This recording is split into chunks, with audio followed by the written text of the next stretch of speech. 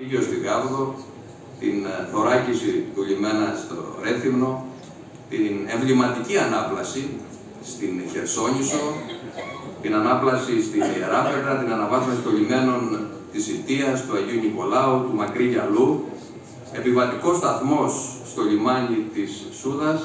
Όλα αυτά είναι πολύ σημαντικές παρεμβάσεις που αναβαθμίζουν την ασφάλεια των λιμενικών εγκαταστάσεων και βέβαια δεν σταματάμε εδώ.